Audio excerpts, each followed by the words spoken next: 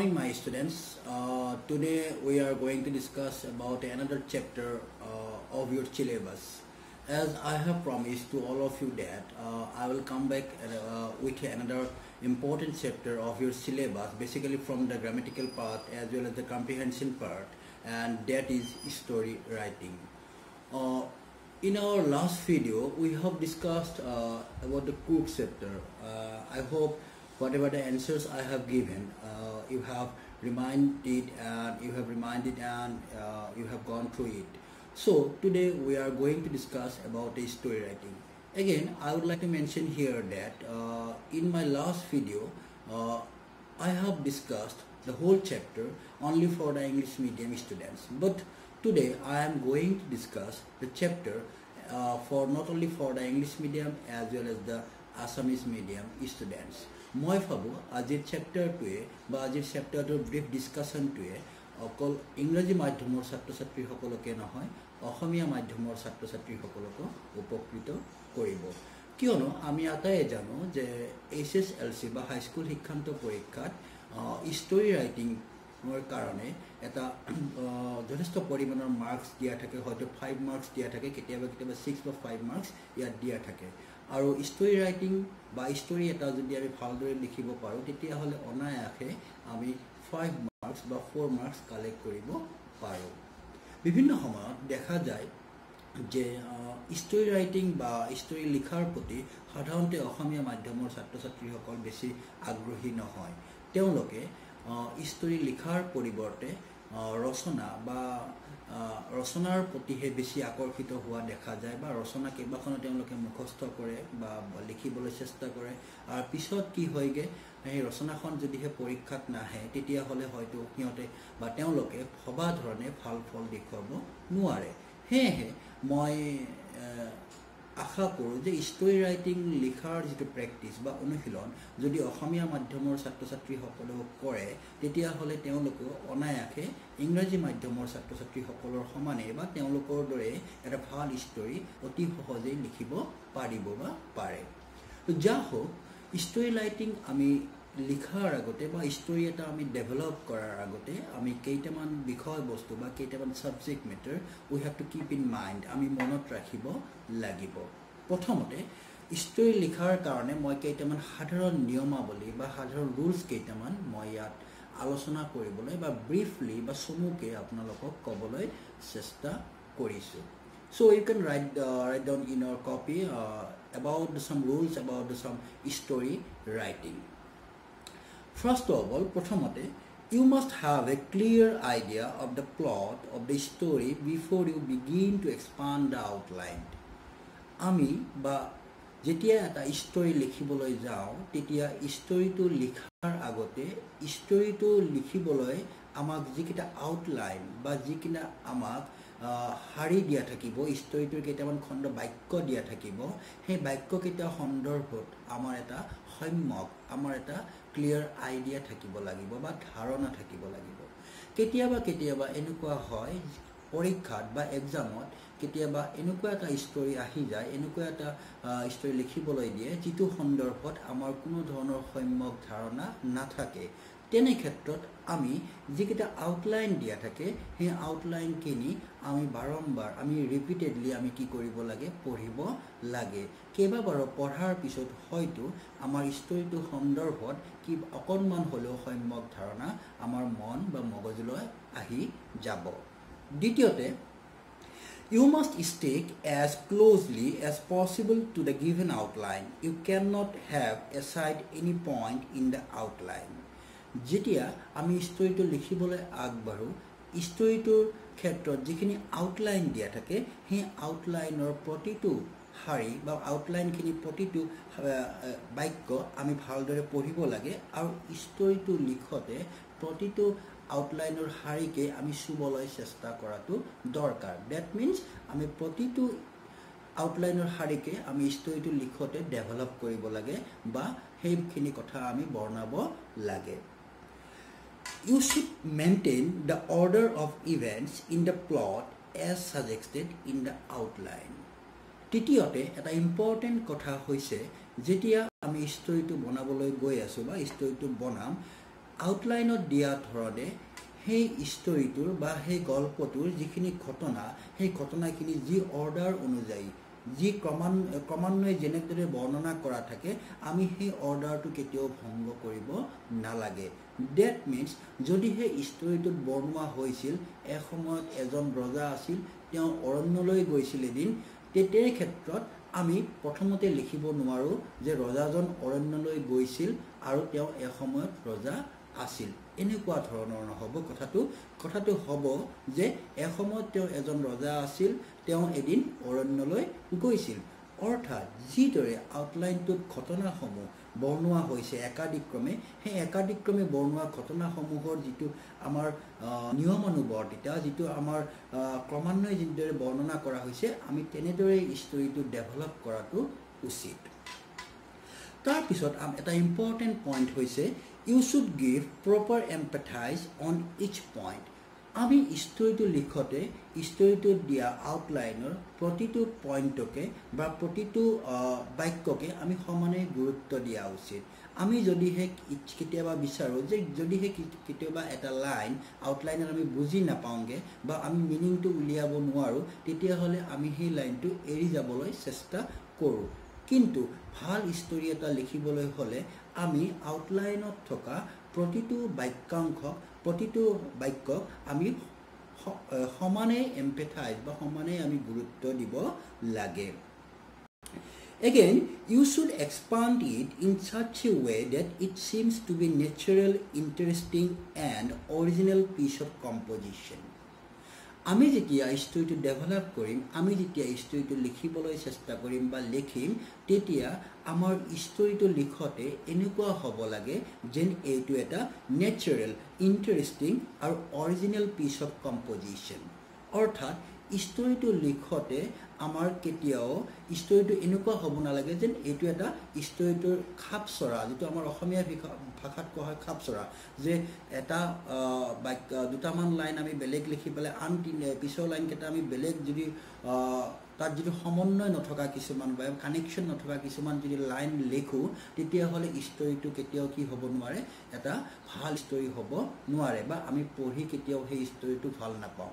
এটা মই চিম্পল উদাহৰণ দিব বিচাৰিছোঁ। যেতিয়া আমি এখন কেতিয়াবা শ্বৰ্ট ফিল্ম বা এখন ভিডিঅ' বনোৱা হয় বা এটা এখন চুটি ছবি বনোৱা হয় তেতিয়া কি কৰা হয়? সেই ডাইৰেক্টৰজনে বা কেমেৰামেনজনে কি কৰে সেই ছবিখনৰ দৃশ্যাংশসমূহ খণ্ড খণ্ডকৈ তেওঁলোক কি কৰে শ্বুট কৰে বা খণ্ড খণ্ডকৈ তেওঁলোকে সেইখিনি কেমেৰাত আবদ্ধ কৰে। তাৰপিছত কম্পিউটাৰৰ সহায়ত সেই সকলোবিলাক খণ্ড যিবিলাক চিত্ৰ লোৱা হয় সেইবিলাকক ধুনীয়াকৈ সজাই দিয়ে। সজাই দিওঁতে আমি যেতিয়া ছবিখন চাওঁ তেতিয়া আমাৰ মনত কেতিয়াও ভাৱ নহয় যে ছবিখনৰ এই প্ৰতিটো মুহূৰ্ত কি কৰা হৈছিল খণ্ড খণ্ডকৈ চিত্ৰায়িত কৰা হৈছিল বা খণ্ড খণ্ডকৈ কেমেৰাৰে শ্বুট কৰা হৈছিল। অৰ্থাৎ ছবিখন চালে আমাৰ নেচাৰেল যেন লাগে। ছবিখন চালে আমাৰ বৰ্তমানত ঘটি থকা যেন লাগে। চ' তেনেস্থলত আমি যেতিয়া এটা ষ্টৰি লিখিম আমাৰ ষ্টৰিটো এনেকুৱা হ'ব লাগে যেন ষ্টৰিটো সঁচাকৈ যেন ঘটিছে বা সঁচাকৈ যেন ঘটি আছে তেনেকুৱা ধৰণৰ হ'ব লাগে। অৰ্থাৎ মনোগ্ৰাহী হোৱাটো নিতান্তই প্ৰয়োজনীয়। তাৰপিছত don't make the story long unnecessarily by bringing in useless and irrelevant incidents বিভিন্ন সময়ত ছাত্ৰ ছাত্ৰীসকলৰ মাজত আমি দেখা পাওঁ বিভিন্নজনে কি কৰে ষ্টৰিটোৰ আউটলাইনৰ লগত বা ষ্টৰিটোৰ লগত সংগতি নথকা বিভিন্ন কথাৰাজি বিভিন্ন ঘটনা তেওঁলোকে ষ্টৰিটোত বৰ্ণাবলৈ চেষ্টা কৰে। সাধাৰণতে তেনেকুৱা প্ৰৱণতাই বা তেনেকুৱা লিখনিয়ে এটা ভাল ষ্টৰীৰ মৰ্যাদা কেতিয়াও নাপায়। চ' সেইকাৰণে আমি কেতিয়াও অলাগতিয়াল বা ষ্টৰিটোৰ লগত সংগতি নথকা আন কথাসমূহ তাত কেতিয়াও সংযুক্ত কৰিব নালাগে। যি কৰিলে যিটো কৰিলে আমাৰ ষ্টৰিটোৰ মানদণ্ড কি হ'ব পাৰে হ্ৰাস হ'ব পাৰে। আকৌ এটা ইম্পৰ্টেণ্ট পইণ্ট ইয়াত উল্লেখ কৰা হৈছে you should conclude the story as strikingly as possible আকৌ এটা ইম্পৰ্টেণ্ট কথা হৈছে বা গুৰুত্বপূৰ্ণ কথা হৈছে ষ্টৰিটোৰ আউটলাইনত ষ্টৰিটো যেনেদৰে সমাপ্ত কৰা হৈছে অৰ্থাৎ যিটো বিষয়ক লৈ পেলাই সমাপ্ত কৰা হৈছে আমি ষ্টৰিটো লিখোঁতেও তেনেকুৱা ধৰণৰ সেই একেই বিষয়টোক লৈয়ে বা সেই একেই ঘটনাটোক লৈয়ে আমি সমাপ্ত কৰা উচিত এটা চিম্পুল উদাহৰণ আমি দিব পাৰোঁ ইয়াক যদিহে ষ্টৰিটোত বৰ্ণোৱা হৈছে বা আউটলাইনটোত বৰ্ণোৱা হৈছে যে মানুহজন পানীত পৰি পেলাই তাৰ মৃত্যু ঘটে তেনেস্থলত আমি যদি ষ্টৰিটোত লিখোঁ যে মানুহজনৰ বেমাৰ হৈ পেলাই বা আন কোনোবা এক্সিডেণ্ট হৈ পেলাই মৃত্যু হয় তেতিয়াহ'লে ষ্টৰিটোৰ আউটলাইনৰ লগত তাৰ সামঞ্জস্য নাথাকিব। চ' এনেস্থলত আমি ষ্টৰিটোত যিদৰে ষ্টৰিটো আউটলাইনত যিদৰে শেষ কৰা হৈছে বা ফিনিছ কৰা হৈছে সেই একেই ঘটনাৰাজিৰে আমাৰ ষ্টৰিটো কি কৰিব লাগে খতম বা ফিনিছ কৰিব লাগে। এটা ইম্পৰ্টেণ্ট ইয়াত এটা পইণ্টছ দিয়া হৈছে use an appropriate title for the story আকৌ এটা ইম্পৰ্টেণ্ট উল্লেখযোগ্য মানে বিষয় হৈছে ষ্টৰি এটা লিখোঁতে তাত কি দিব লাগে এটা আকৰ্ষণীয় হেডিং এটা দিব লাগে বা শিৰোনাম এটা দিব লাগে। যিটোৰ লগত ষ্টৰিটোৰ কথাখিনিৰ কি থাকে সামঞ্জস্য থাকে। আৰু আমি হেডিংটো লিখোঁতে সদায় সাৱধান হ'ব লাগে। এনেই আমি ততাতৈয়াকৈ ষ্টৰিটো লিখি লিখি ততাতৈয়াকৈ হঠাৎ কিবা এটা হেডিং ওপৰত লিখি দিব কেতিয়াও নালাগে। অৰ্থাৎ ষ্টৰিটো পঢ়ি পেলাই তাৰ লগত সামঞ্জস্য থকাকৈ আমি এটা আকৰ্ষণীয় হেডিং দিব পাৰোঁ। আৰু যেতিয়া আমি বহীবিলাক কপিবিলাক পৰীক্ষাৰ H S L C examination বা আন পৰীক্ষাৰ কপিবিলাক চেক কৰোঁ আমি হেডিঙৰ কাৰণেও আমি এটা মাৰ্কছ আমি দি দিওঁ। চ' কেতিয়াও হেডিংটো লিখোঁতে ছাত্ৰ ছাত্ৰীসকলে অৱহেলা বা নেগলিজেঞ্চৰ মনোভাৱেৰে ঘপককৈ বা কিবা এটা হাৰিলি কিবা এটা হেডিং দি দিব নালাগে অকণমান ভাবি চিন্তি পেলাই ষ্টৰিটোৰ লগত সামঞ্জস্য ঘটাকৈ এটা হেডিং দিয়াটো প্ৰয়োজনীয়। Again, uh, you should write the story in simple, easy, idiomatic English. যেতিয়া আমি ষ্টৰিটো লিখোঁ তেতিয়া আমি ষ্টৰিটো লিখোঁতে সদায় মনত আমি কিছুমান চিম্পল চেণ্টেঞ্চেৰে ষ্টৰিটো বনাবলৈ চেষ্টা কৰিব লাগে। বিভিন্ন সময়ত আমাৰ বিশেষকৈ অসমীয়া মাধ্যমৰ ছাত্ৰ ছাত্ৰীসকলৰ মনত এটি ভয় থাকে যে আমি জানো ষ্টৰি লিখিব পাৰিম। আমিতো ইংৰাজীৰ টান টান ৱৰ্ড কিছুমান আমি নেজানো। বিভিন্ন শব্দৰ আমি ইংৰাজী প্ৰতিশব্দ নেজানো। আমি কেনেকৈ ষ্টৰি লিখিম? সেইসকল ছাত্ৰ ছাত্ৰীলৈ মোৰ বিনম্ৰ অনুৰোধ সেইসকল ছাত্ৰ ছাত্ৰীলৈ মই আহ্বান যে আপোনালোক আটাইয়ে ষ্টৰি এটা লিখোঁতে কেতিয়াও ভয় খাব নালাগে আমি ষ্টৰি এটা লিখোঁতে কেতিয়াও টান ইংৰাজী শব্দ বা প্ৰতিশব্দ ব্যৱহাৰ কৰাৰ কোনো যুক্তিযুক্ততা নাই যে ষ্টৰি এটা লিখিব লাগিলে আমি টান শব্দ এটা ব্যৱহাৰ কৰিব লাগিব তেনেকুৱা ধৰণৰ কোনো কথা নাই। আমি চিম্পল সহজ সৰল। আমি সাধাৰণতে ব্যৱহাৰ কৰি থকা কেইটামান ইংৰাজী শব্দৰেও আমি এটা ভাল ষ্টৰি লিখিব পাৰোঁ। কিন্তু important uh, uh, matter here. You should give an impo uh, you should give importance uh, one thing that here আমি এটা কথাত গুৰুত্ব দিব লাগিব যে আমাৰ ষ্টৰিটো গ্ৰামেটিকেল এৰৰ ফ্ৰী যাতে হয় যিটো আমাৰ ব্যাকৰণিক বা আমাৰ ব্যাকৰণিক বা ব্যাকৰণৰ অশুদ্ধতাৰ পৰা যাতে আমাৰ ষ্টৰিটো কি হয় মুক্ত হয়। আমি যিয়েই নিলিখোঁ সেইখিনি যাতে আমি শুদ্ধ আৰু সঠিক ভাষাত লিখিবলৈ ব্যাকৰণৰ শুদ্ধতাৰে লিখিবলৈ যাতে আমি চেষ্টা কৰোঁ। তাত বেছি গুৰুত্ব দিব লাগে। তেতিয়াহ'লে আমি দেখিম যে আমি অনায়াসে বা সাধাৰণতে অতি ইজিলি আমি এটা ষ্টৰি ডেভেলপ বা বিকাশ কৰিব পাৰিম। আকৌ এটা বিভিন্ন সময়ত ছাত্ৰ ছাত্ৰীসকলে আমাক প্ৰশ্ন কৰে যে ছাৰ ষ্টৰি এটা লিখিলে আমি মৰেল দিয়াটো বাধ্যতামূলক হয় নে নহয়? তাৰ এই সন্দৰ্ভত মই ক'ব বিচাৰোঁ যে বিভিন্ন সময়ত যেতিয়া কুৱেশ্যন পেপাৰখন ছেট কৰা হয় যেতিয়া কুৱেশ্যনটো দিয়া হয় তেতিয়া বিভিন্ন সময়ত কেতিয়াবা লিখাই থাকে যে ৰাইট এ মৰেল এটা মৰেল দিবলৈ বা এড কৰিবলৈ কোৱা হয়। তেতিয়াহ'লে ছাত্ৰ ছাত্ৰীসকলে ষ্টৰিটো পঢ়ি পেলাই ষ্টৰিটো বুজি পেলাই সি কি ধৰণৰ মূল ভাৱ এটা ব্যক্ত কৰিছে তাৰ ওপৰত ভিত্তি কৰি পেলাই এটা মৰেল লিখিব পাৰে।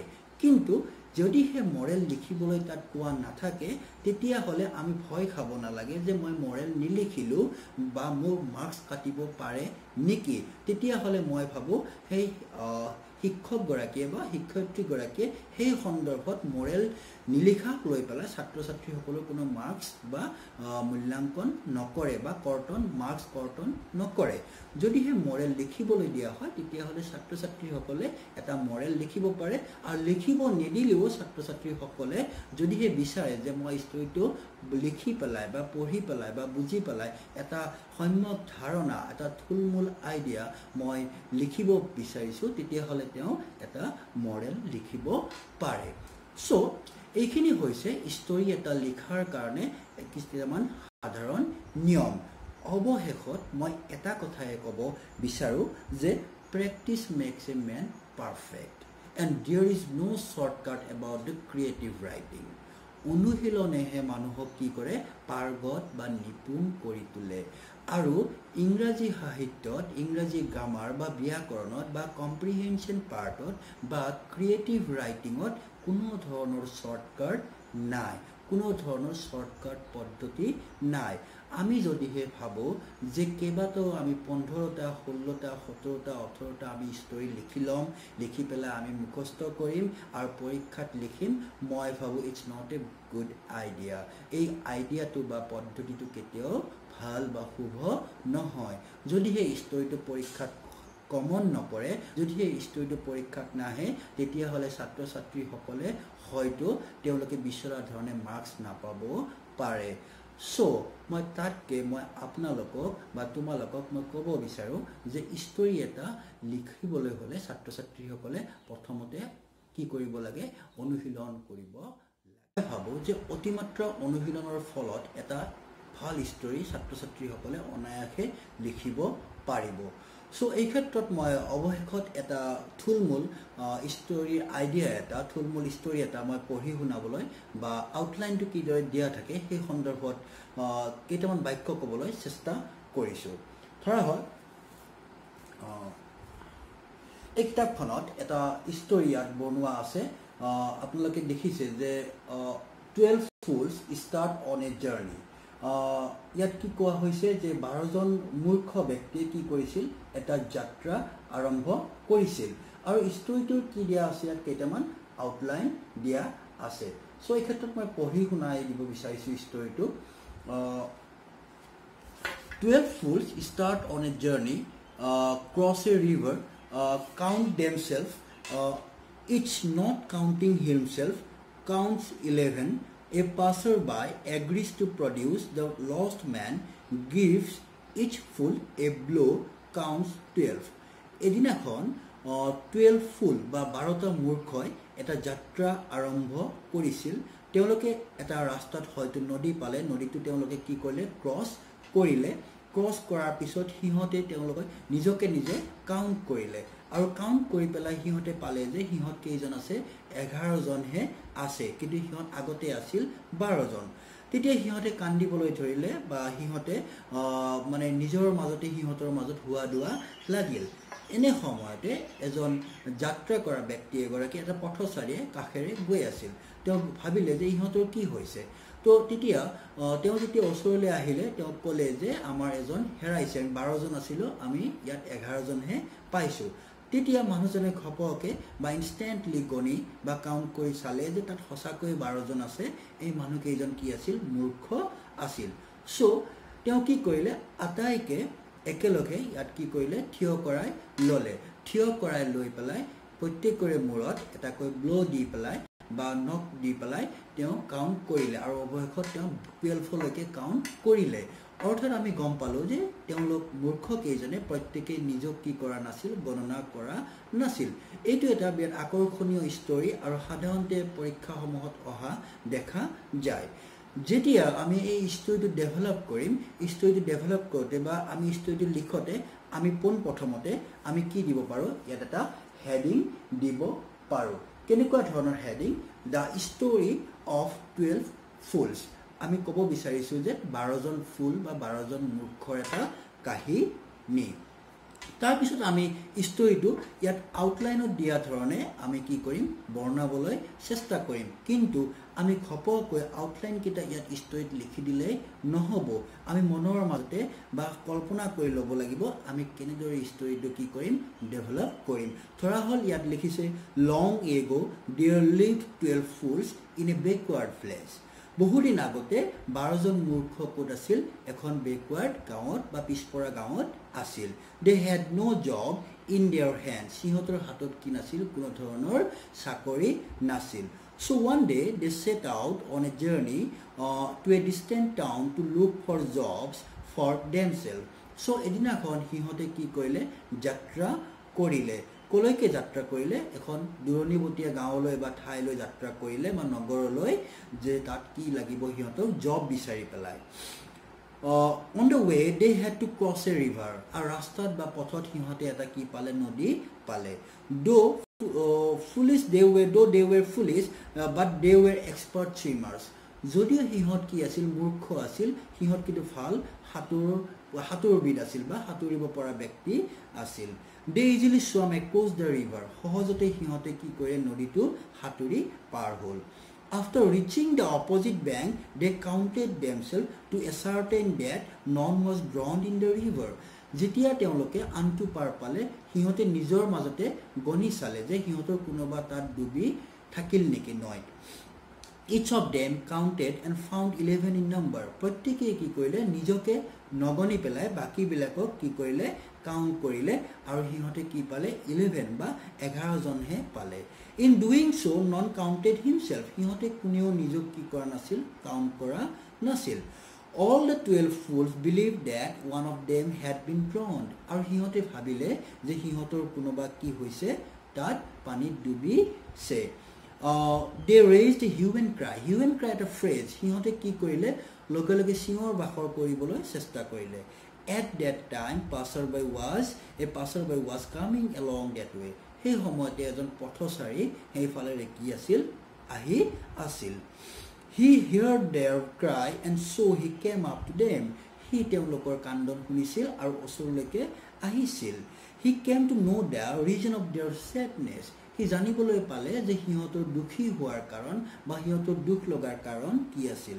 He made a glance at them and saw' that they were really twelve not eleven সি তৎক্ষণত এফালে চকু ফুৰালে চকু ফুৰাই চাই দেখিলে যে তাত বাৰজন আছে এঘাৰজন নহয়। He at once knew that they were fools সি তৎক্ষণত গম পালে যে তেওঁলোক কি আছিল মূৰ্খ আছিল। He আক্স the fools to stand in a line and gave a blow' on the head of its men and counted twelve সি কি কৰিলে আটাইকে একে লেঠাৰিয়ে থিয় কৰাই পেলাই সিহঁতৰ মূৰত প্ৰত্যেকৰ মূৰত এটাকৈ ব্ল' দি গ'ল আৰু কাউণ্ট কৰি গ'ল আৰু অৱশেষত তেওঁলোকে কি পালে? বাৰজন পালে নিজৰ মাজতে। All the fool shouted with joy to have found their lost companion আৰু সকলোৱে কি কৰিলে আনন্দতে জঁপিয়াবলৈ চেষ্টা কৰি জঁপিয়াবলৈ ধৰিলে। They thank the passer by and started their journey again আৰু তেওঁলোকে কি কৰিলে সেই পথচাৰীজনক ধন্যবাদ দিলে আৰু তেওঁলোকৰ যাত্ৰা পুনৰ আৰম্ভ কৰিলে। চ' আপোনালোকে দেখিলে বা তোমালোকে দেখিছা যে ষ্টৰিটোত কেনেদৰে সহজ সহজ চুটি চুটি কেইটামান ইংৰাজী বাক্যৰে ষ্টৰিটো কি কৰা হৈছে বনোৱা হৈছে। আৰু ষ্টৰিটো বনাওঁতে ইয়াত এটাও হয়তো আমাৰ অপৰিচিত বা আননোন শব্দ ব্যৱহাৰ কৰা হোৱা নাই। আকৌ মই ক'ব বিচাৰিছোঁ যদিহে ভাল ষ্টৰি এটা লিখিব লগা হয় তেতিয়াহ'লে বিভিন্ন সময়ত ছাত্ৰ ছাত্ৰীসকলে কিছুমান ফ্ৰেজেল ভাৰ্ব কিছুমান ভাৰ্ব ইয়াত কি কৰিব পাৰে কিছুমান ফ্ৰেজ ইয়াত ইউজ কৰিব পাৰে। ফৰ এক্সাম্পল ইয়াত লিখিছে হিউ এণ্ড ক্ৰাই চ' ইয়াত কি বুজাইছে? Hue and cry hue and cry মানে কি বুজাইছে? চিঙৰ বাখৰ কৰিছে। যদিহে আমি এনেকুৱা ফ্ৰেজেল ভাৰ্ববিলাক ব্যৱহাৰ কৰোঁ বা আমি এনেকুৱা ফ্ৰেজবিলাক ব্যৱহাৰ কৰোঁ তেতিয়াহ'লে শিক্ষক শিক্ষয়িত্ৰীসকলে পঢ়ি পেলাই ভাল পায় আৰু মাৰ্কছ দিবলৈ তেওঁলোকে ভাল পায়। যা হওক ষ্টৰিটোৰ শেষত এটা মৰেল দিছে no' medicine is found for fools আমি সকলোৱে কওঁ মূৰ্খৰ কোনো কি নাই? ঔষধ নাই। চ' ছাত্ৰ ছাত্ৰীসকলে দেখিলে যে এনেদৰে এটা ষ্টৰি আউটলাইনসমূহৰ পৰা লৈ পেলাই অতি সহজতে কি কৰিব পাৰি ডেভেলপ কৰিব পাৰি লিখিব পাৰি। সেয়েহে মই আজিৰ এই ভিডিঅ'টোৰ দ্বাৰা সমগ্ৰ ছাত্ৰ ছাত্ৰীসকলক সমগ্ৰ ষ্টুডেণ্টছবিলাকক মই প্ৰাৰ্থনা জনাইছোঁ ৰিকুৱেষ্ট কৰিছোঁ they should come up and try to they should exercise writing the stories তেওঁলোকে ৰচনা লিখাৰ পৰিৱৰ্তে তেওঁলোকে এছে লিখাৰ পৰিৱৰ্তে ষ্টৰি লিখাৰ ওপৰত কি দিয়ক গুৰুত্ব দিয়ক। It's a creative idea it's a creative skill এইটো এটা সৃষ্টিশীল এটা প্ৰতিভা। যদিহে আমি ভাল ষ্টৰি ভৱিষ্যতে লিখি থাকিব পাৰোঁ আমি এজন ভাল ৰাইটাৰ হ'ব পাৰিম।